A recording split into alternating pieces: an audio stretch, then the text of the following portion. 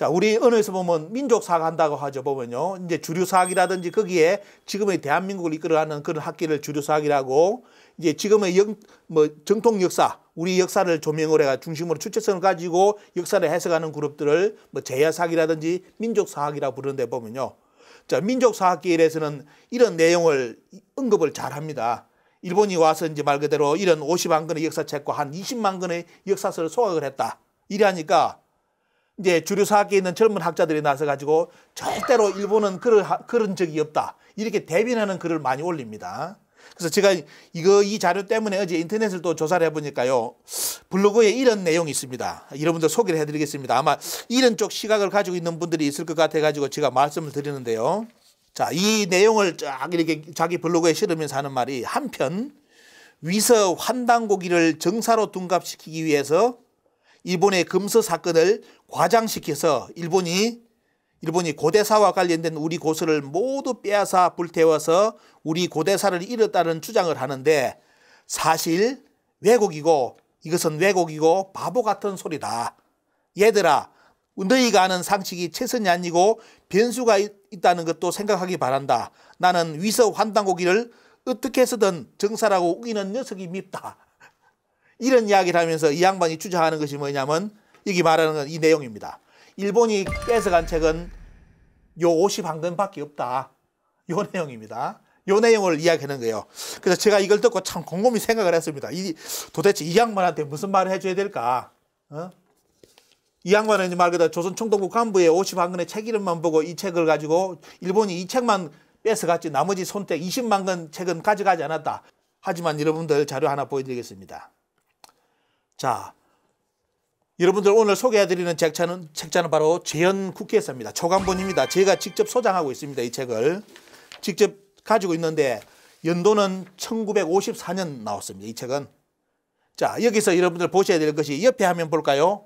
자, 재헌국회 1954년에 초간본이고 옆에 보시면 이 책이 나온 거에 대해서 간항에 대해서 아주 축하한다는 메시지를 보낸 분이 있습니다. 한자 여러분들 아시겠습니까? 자, 그 유명한 신이키 선생입니다. 신이키 선생이 얘기했고 그 시간대는 뭐냐면 여기 보시면 이제 그 언제 언제 나오는까지 다 매겨져 있죠 보면요. 자, 이 책에 뭐가 나오냐면 조선 총독부에서 우리나라 역사서를 10만 권을 소각했다는 내용이 있습니다. 어? 자, 지금 앞에 한 분이 우리나라 이제 역사 관심 있는 분이 말 그대로 그 조선 총독부 이 자료를 인용하면서 조선 총독부에서 이 책만 뺏어갔지. 어? 또 주류 사학계 수장합니다. 요 책만 뺏어갔지 10만 건, 20만 건 책 뺏어간 적 없다 했는데 문제는 그 책을 가지고 소각했다는 내용이 어디 있느냐. 우리나라 1954년 단기 4287년에 나와 있는 지연 국회사에 나와 있습니다. 그 책을 축하의 메시지를 보내주신 분, 읽어 메시지를 보낸 분이 신익희 선생입니다. 그러면 한마디로 아까, 아까 말씀대로 한다면 어때요? 이분들이 다 바보라는 거예요.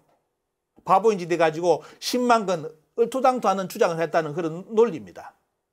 과연 이분들이 그 내용을 몰라서 그랬을까요? 틀림없이 자료가 있을 겁니다. 그죠? 그렇기 때문에 언어에서 보면 문헌사로 본다면 중요한 부분인 전 국회사 초간본에 어떻습니까? 그 내용이 실려 있는데 왜 일본 사람도 아니면서 어? 조선 총독부 사람도 아니면서 지금의 대한민국의 역사를 공부한다는 사람이 또한 주류사학의 박사가 되고 교수가 된 사람들이 이런 역사를 부정을 합니까? 국회사까지, 재헌국회사까지 부정합니까? 그들이 써놓은 책까지 부정합니까? 저는 그런 외놈보다 더 나쁜 놈들이라 봅니다. 저는.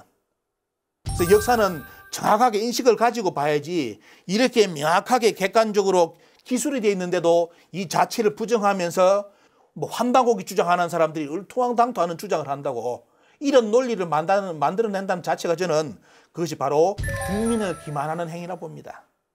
그러면 그 시대에 살았던 사람의 기자의 한번 내용을 한번 보겠습니다.